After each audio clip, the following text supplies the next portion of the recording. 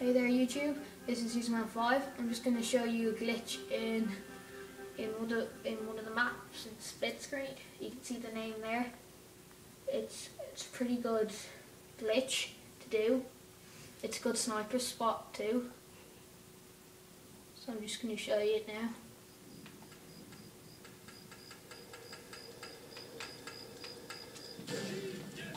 What you do is you come along here and you see this cabinet here you do is you just jump on top of it and then you come uh, and then you put your aim there you move back like that. And you move back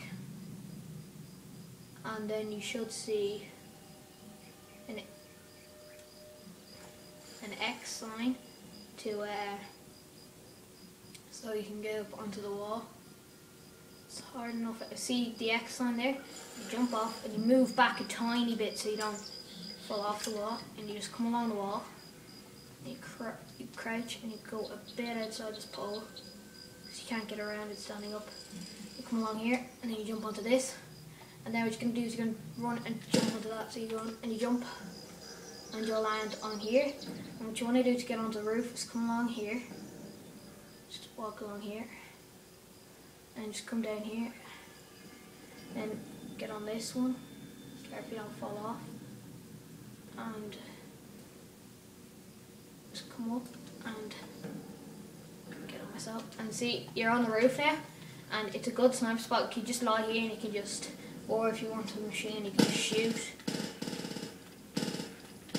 And what you can do now it's really hard to do but you can run and you can jump into the tree so I'm going to try to do it See, it and you run, and you now you're in the tree. So if you have a sniper, you can just you can just snipe around and stuff, and it's a pretty good place to be.